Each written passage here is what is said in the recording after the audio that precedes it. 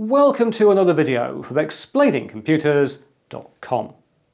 This time I'm going to talk about MDisk. What's MDisk you cry? Well, MDisk is a relatively new kind of writable Blu-ray and DVD media that stores your data securely for a long period of time. Now, as you may know, traditional DVD and Blu-ray and CD discs, if you write data to them, it can be gone in a few years. It can be gone in a few months if you're unlucky and they aren't particularly good disks. But with MDisk, the data is supposed to be secure on the disk once you've written it for centuries, if not a thousand years. Now you might be thinking, how so? What's the difference? Well, the difference is traditional writable media store the data using an organic dye whose properties are changed by a laser, and that dye can degenerate over time. Within MDisk, your data is stored using an inorganic, what they call rock-like layer into which the data is engraved, and that's supposed to have much greater longevity. So, in this video, I'm going to show you some MDisk hardware and media. We're going to test them out, test out compatibility, and then I'm going to do some very intensive data retention tests.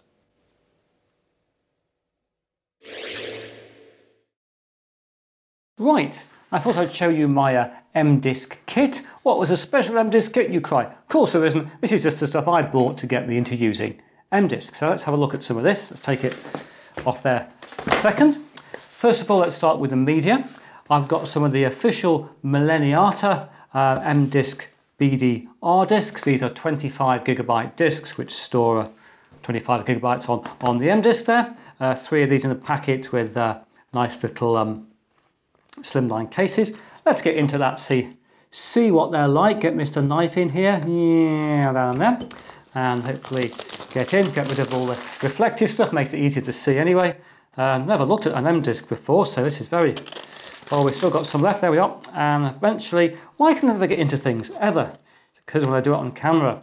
There we are, and inside here we've got a, this is a, an M-disc in its box, and if I open it up, we will hopefully see Ooh, that's an M-disc.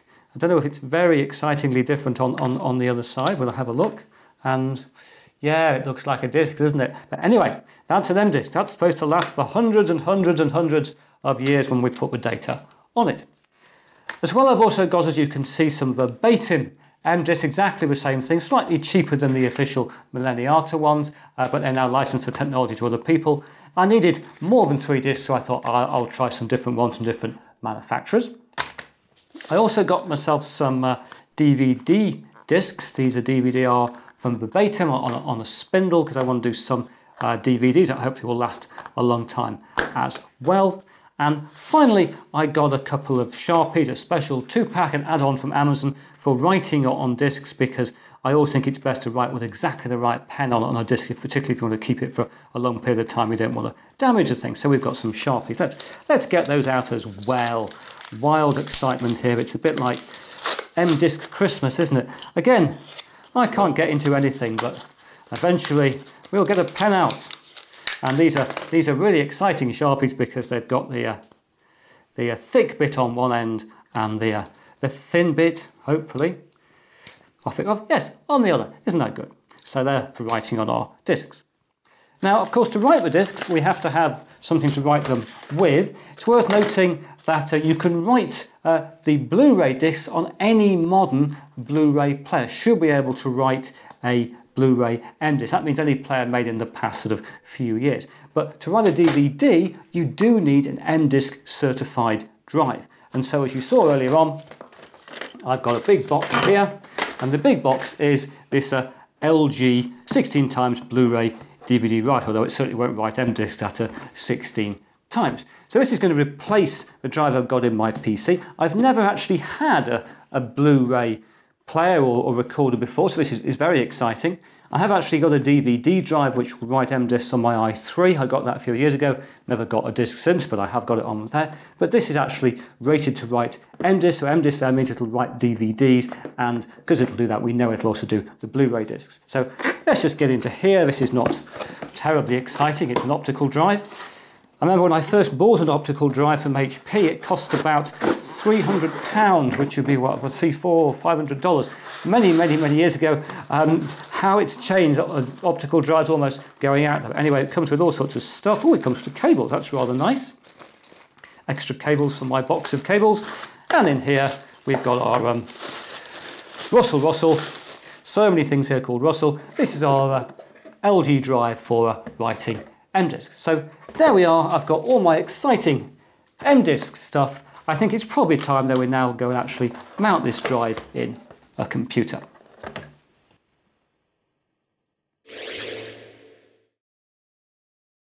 Right, I've now fitted my LG Super Multi Blue B816 into my video editing PC, which was just a matter of removing the old drive, slotting in my new one, connecting the SATA and power connectors, and putting the front back on the machine.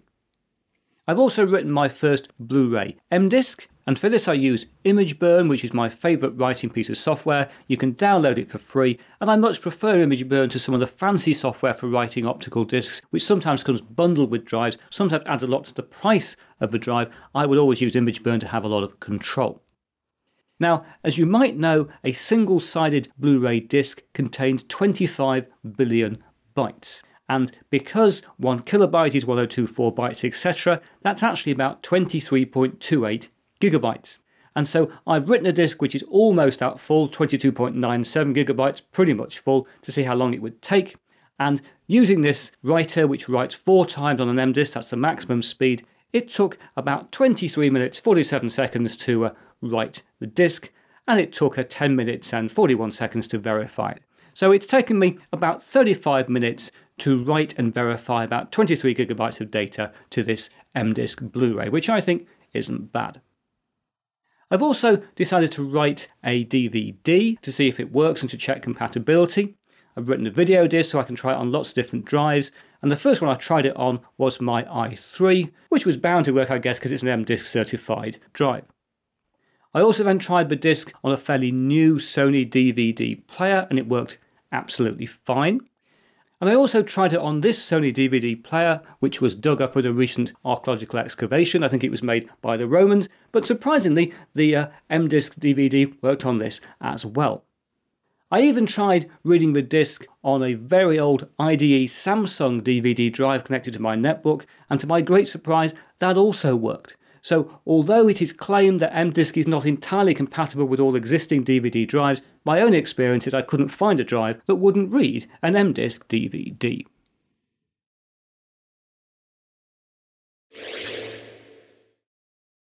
So, I've now told you what M-Disk is, we've looked at some hardware, we've checked it works, but I'm sure the big question on your mind, the ultimate question about M-Disk is, does a recording on an M-Disk last far longer than a recording on a traditional DVD or Blu-ray recordable disc.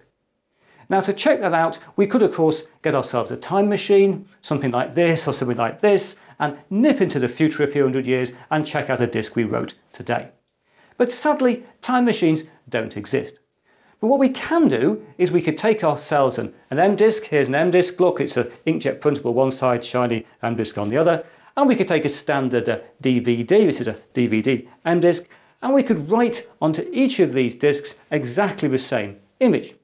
And then what we could do, we could take these lovely discs and we could put them into these DVD containers into which I put some water and I've frozen that water. And then we could add some more water on the top and we could put those in the freezer and we could freeze it so we ended up with each disc absolutely frozen in a block of ice. And uh, here they are. This is our discs in totally solid frozen in ice. I'm, I'm wearing these lovely uh, designer purple rubber gloves because if I didn't my uh, skin would be sticking to this. It is really very very cold and very very very solid. Um, why have I frozen these discs in ice? Well I'm trying to put the discs through the stresses that they really don't like. These sort of discs don't like moisture and clearly this is quite a high moisture level. They don't like extremes of temperature. They've been down to well under minus 20 degrees centigrade for many, many hours today. And they also won't like uh, high temperatures. And I'm going to actually get them out of this ice, not by just letting them melt slowly over time, but by subjecting them to some boiling water. So let's go and try that. And uh, here we are, we've got our frozen disc ready to be uh, rapidly unfrozen. I've got my wooden spoon around in case I need to move them around if I can't keep them on screen properly. And I'll now try a bit of boiling water. Oh, that's working. That's definitely working. I would say, of course, whatever you do, do not try this at home. This is not a this is not something to be tried unless you're incredibly stupid. But there we are. We've now got our discs very, very rapidly uh, unfrozen. It'll be interesting to see if I now dry them off whether there's any data left on either of these discs.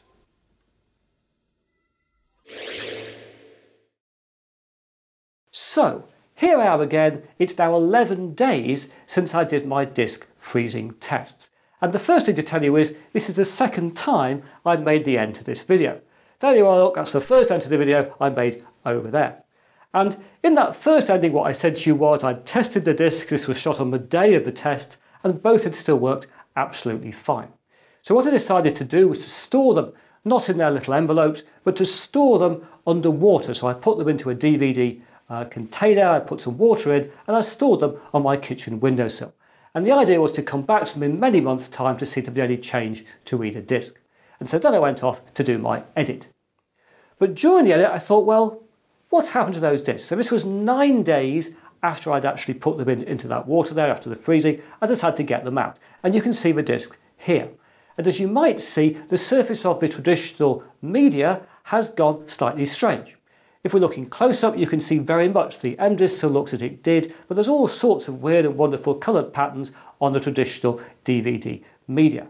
And it won't surprise you to know when I did some verification tests, the uh, verified fine, but traditional DVD didn't. And I think what has happened there is that moisture has got in through the edge of the disc uh, to corrupt the uh, organic dye, and therefore there was no data readable. Now that was two days ago. This is now 11 days since the final test of the freezing test, and the disc now had more time to actually dry out. And as you might see here, the traditional media now looks more like it's supposed to, and both discs now verify fine. So, what have we learnt? Other than the fact if you write with a Sharpie on the inkjet printable surfaces, it comes off if you store your discs in water, which is uh, perhaps surprising. We've also learnt that if you have DVD discs which have been water damaged and you think the data's all gone, it's worth waiting several days to see if it comes back again. In terms of M-Disk, I think we have proved that an M-Disk is more robust than a traditional media. Yes, the data came back on this disk, but I don't think I'd trust it over time. Having seen that colour pattern change, this is not a media I'd want to be using for important purposes. So I think the test has proved more than I thought it would. I was quite shocked with the change on the surface of this disk. We've seen that MDisk does seem to be more robust for archival media storage.